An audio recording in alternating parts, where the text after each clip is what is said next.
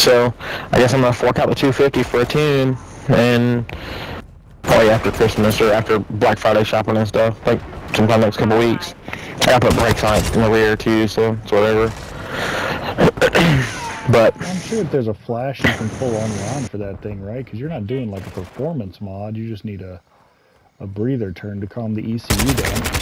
You could pull one of those for free I, I have to have the ECU. I have to have a way to do it in the ECU. I have to have